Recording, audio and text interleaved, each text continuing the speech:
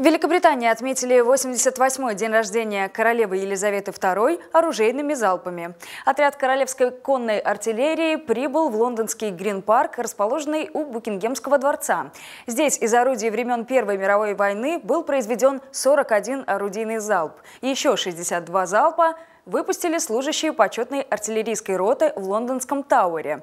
Таким грандиозным зрелищем полюбовались жители Лондона. Сама же виновница торжества провела день в спокойной обстановке в Виндзоровском замке. К слову, Елизавета II стала старейшим по возрасту британским монархом в истории. Она взошла на престол еще в возрасте 25 лет. Дольше нее правила только королева Виктория.